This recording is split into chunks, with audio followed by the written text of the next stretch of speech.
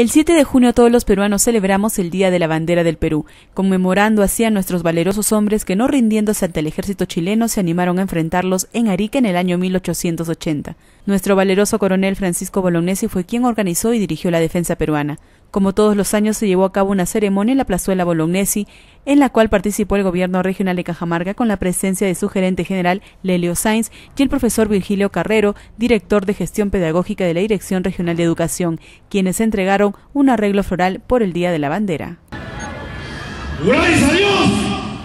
y prometéis a la patria seguir fielmente a vuestra bandera, defenderla hasta perder la vida y no abandonar a vuestros subordinados